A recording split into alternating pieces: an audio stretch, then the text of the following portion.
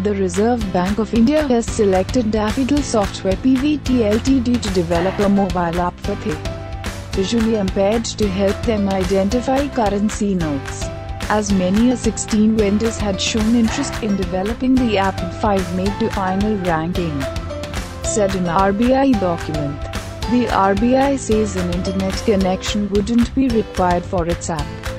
Subscribe to the channel for more news.